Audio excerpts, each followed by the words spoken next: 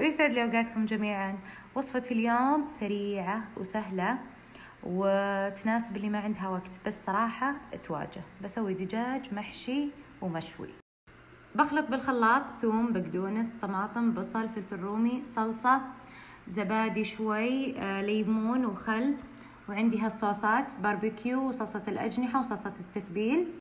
البهارات أنا شكلي حطيت كل اللي بدولاب البهارات حطيت بابريكا فلفل أسود آه، بصل وثوم بودرة كركم فلفل أبيض وأسود آه، بهار الدجاج بهار عثماني يعني اللي تبونه حطوه. بعد ما أخلط كل هالمكونات بالخلاط راح أتبل هالمزيونة فيها وبخليها تنقع بالتتبيلة شوي ويفضل أنها تكون ليلة كاملة. وقبل أدخل الدجاجة للفرن راح أحشيها بهالحشوة. هذه عبارة عن رز مصري مع بصل وفلفل بارد وثوم شوي طماط بقدونس كزبرة نعناع بهارات.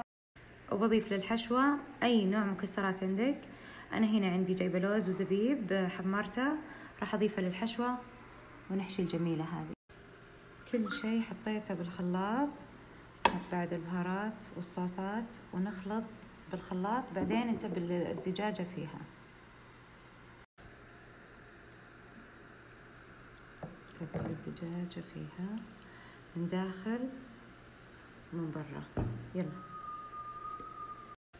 نسوي مساج محترم للدجاجة وندخل التتبيلة من داخل عشان يدخلها الطعام نخليها على جنب شوي. والأفضل زي ما قلت لكم ليلة. بعد ما نقعت الدجاجة بالتتبيلة نحط الحشوة من داخل بعد ما حطيت فيها المكسرات نحشيها وبعدين نسكرها أعواد الأسنان. نحاول أننا نسكرها بعواد الأسنان عشان ما تطلع الحشوة علينا برا. عملية تسكيرها زين. خلاص سكرناها زين.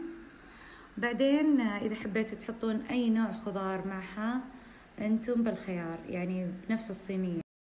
حطيت الدجاج بالصينية وحطيت عندي هنا بصل وبيبي بوتيتو فلفل ملون أي خضار أنتم تحبونها؟ حطوها بالصينية معها تنشوي ولذيذة.